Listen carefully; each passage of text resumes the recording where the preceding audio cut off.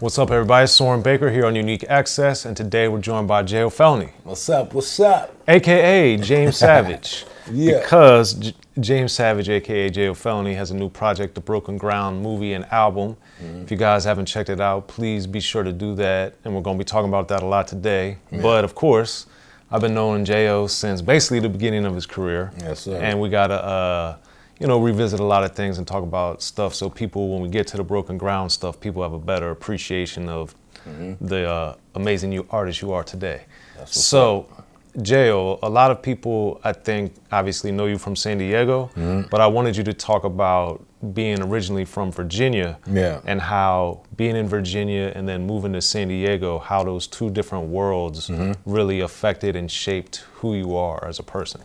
Oh man, it was crazy, man. Cause um, I still, uh, my brother actually still lives in Virginia right now, and um, they basically just tore down uh, the projects where you know where I was you know born at, and, and he sent me a picture of the, of the tree I used to hop over and shit, and and, and he went inside the pad and took pictures of it, and um, I just you know that shit bring back a lot of memories, and I was gonna. Um, you know, make a film about my childhood there. You know what I'm saying? So I told him to make sure he took pictures of that because I wanted to um, remake that actual how how it looked. Right, right. You know what I mean? So I'm glad he did that. Yeah, man, it, it was it was it was real a real rough area where I was. You know what I'm saying? Like, um, I used to just see motherfuckers getting shot all the time and people shooting up drugs. And my, my brothers kind of ran the shit, so nobody fuck with me. You know what I'm saying? But That helps. yeah, you know, I, I seen a lot of uh, a lot of fucking murder and and um, and, and just a lot of fucking death and violence at a young age, and and before I even knew anything about gang banging or any of that shit. You know what I'm saying? It was just a, um, like kind of like Baltimore and shit like that. You know what I'm saying? It's like a real rough, um, a real rough area, and it's kind of crazy that I, I lived in that shit, and then I get I go to school like about three miles away, and it's a whole different kind of energy. You know what Right. I'm saying? So um, I don't know. This shit was crazy, and then the way I got to San Diego was like I kind of didn't have a choice. Like fucking, um, like our house caught on fire and shit, that type of shit. Yeah. And it was funny. My mom and my grandma was outside. The heater fucking caught on fire to the goddamn curtains, and me and my little niece was in the house, and fucking, you know. You know, I was a fucking kid, but I wasn't scared of fire because I used to set fires all the fucking time. So I was just like, just grab my niece and get the fuck out the house. You know what I'm saying? fuck this shit. Right. So that's what happened. Fucking house burnt up. We had to go to the fucking Red Cross for like three days, and then we went came to California. You know what I'm saying? So And- seemed like it was meant for me to be here. You know what I mean? Yeah, yeah. And then And, um, what made your mom pick San Diego? Uh, my sister was already living out there. You know what I'm saying? And um, you know, so we came out here with my sister. You know what I'm saying? And then, um, you know, I was going to school, and uh, I really was tripping that what was different from the East Coast was the fucking schools on the East Coast are all inside. Like you mm. don't have Oh, no, yeah. you know what I'm saying? Like you don't Yeah. fucking go outside to go to, do another anything, class and none of except recess. Yeah, you know what I'm saying? That's it. So it was so fucking different for me when I was in San Diego and I was like going to another class outside and walking to this other class. I was like, damn, this shit cracking. Mm. This bitches, the teachers look good and shit. I'm like, damn, school is the shit out here. You know what I'm saying? So it was a different energy as far as it was beautiful, and and I was real, um, I was real happy about not having to be in the fucking cold anymore. Right. And and I remember as a kid, and I think we came out here um, in like January, you know what I'm saying? And it was fucking like the beginning of January, and it was at nighttime, and it was fucking warm. Right. And I'm like, damn, like, you know what I'm saying? I'm like, this is the shit, you know what I'm saying? Like, like it, I couldn't believe it. So I was just, just happy to get away from the struggle of being in the projects and being in the fucking, um, being, you know, around all the violence and drugs and bullshit. You know what I'm saying? Mm-hmm. But you know, I had a um, like two different sides of life. Like my mom was in the fucking projects, but my dad and my mom wasn't together.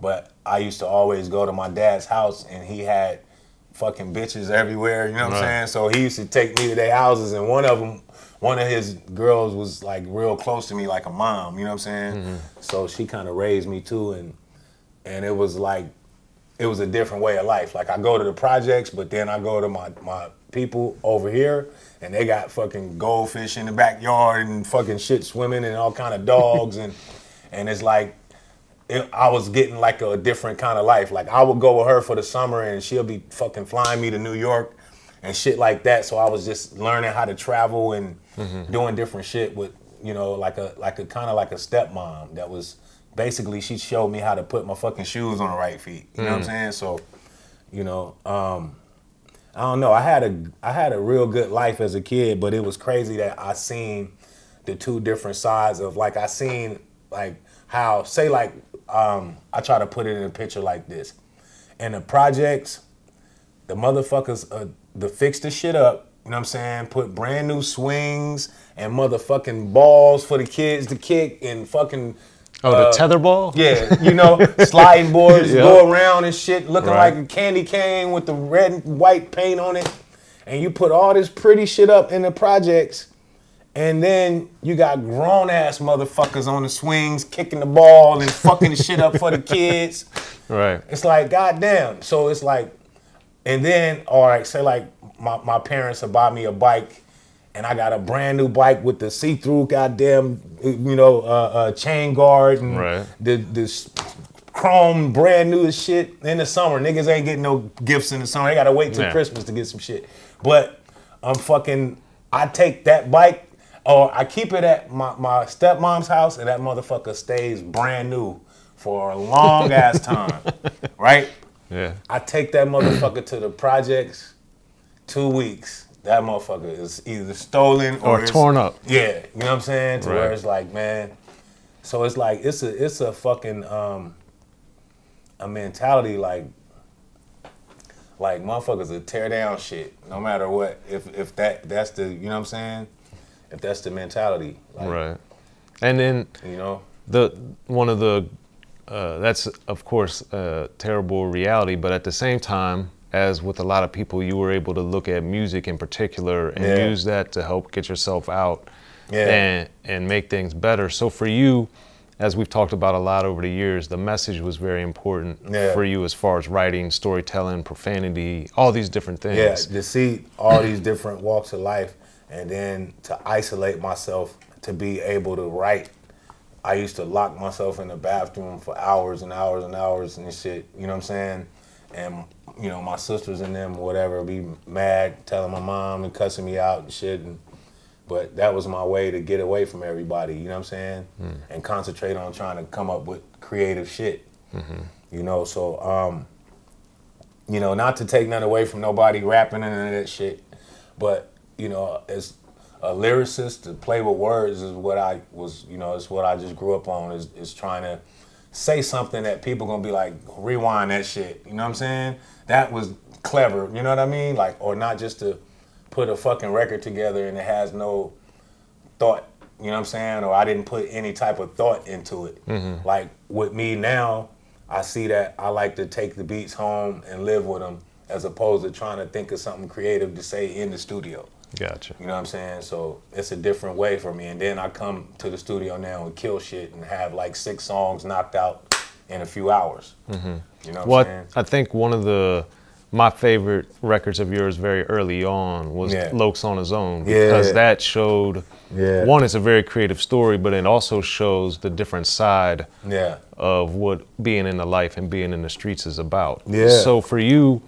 when you're able to add those extra dimensions to those type of songs very early in your career, Mm-hmm. Yeah. of course. Yeah. Like what did you notice about that song when you were writing it? Did it feel different? Did it like the reaction when you started playing it for people or when you were recording it? Like what was the difference? I wanted to make a song that, you know, even if it's not being incarcerated, it's, it's like people being away from home and and um, like you can be in college or wherever, you know what I'm saying, and you're away from home, and you and and um, you know your people are footing the bill for you to be in college, and you can't call home as much, you know, and your family's not accepting those calls as much or whatever, you know what I'm saying. So it's like just being away from your family and, and having to you know call home. Everybody can relate to that, Right. You know, and um, and jail is definitely a, a, a crazy situation because the um, the system how it's set up, they charge you so much money to even talk to your family and shit. You know what I'm saying? It's like basically a, they running a racket in the jail. Right. You know what I'm saying? It's like this, you would be surprised how much it costs. It's very expensive. Yeah, a minute to talk Yeah. to someone, call and collect. You know what I'm saying? So, um, you know, I just wanted to put that out there and, and, and, you know and let people feel that. And that was one of my favorite songs on, on my first album.